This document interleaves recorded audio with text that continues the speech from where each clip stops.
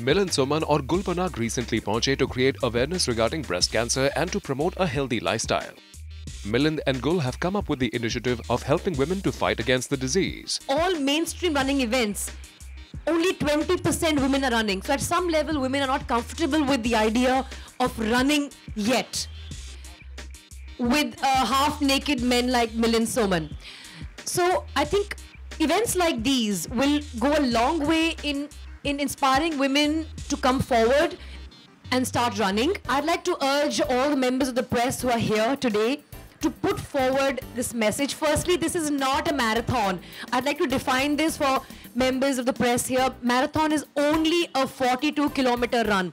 Anything less than 42, if it's 21, is a half marathon. This is a run. As Gul said, इस initiative के through ये दोनों celebrities arrange करने जा रहे हैं a 10 kilometer run for women. और खुद गुल भी रनिंग कितना पसंद करती हैं इसके बारे में भी उन्होंने हमें बताया I'd like to focus on what we can do to fight lifestyle diseases, breast cancer being one of them.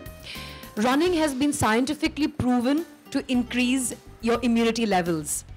Anything that increases your immunity levels by default fights disease, including cancer. I think running is one of the easiest ways to remain fit.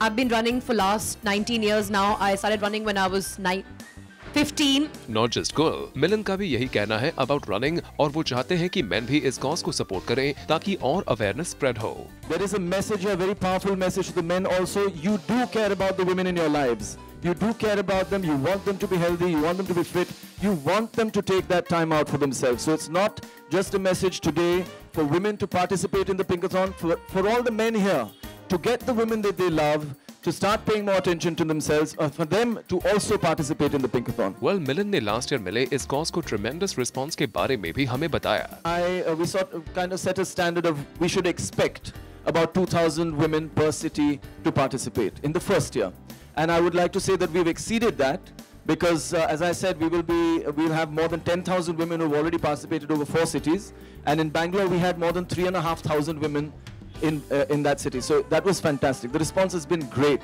We also hope and pray that women come forward and participate in this initiative. For Rudrani Chaturaj, Zoom, Mumbai.